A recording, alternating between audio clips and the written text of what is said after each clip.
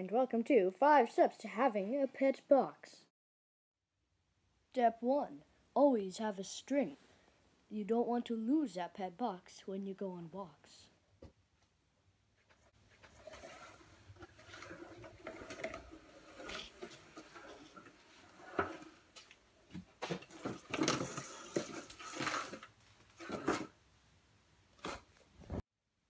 Step 2 Always have spare guitars, as it is your pet box's favorite food.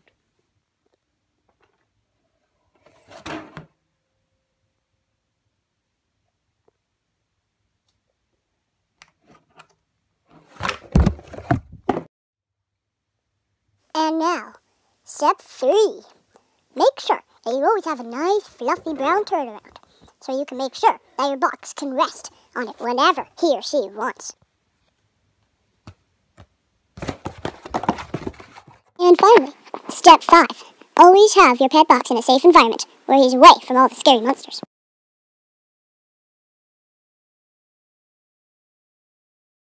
The end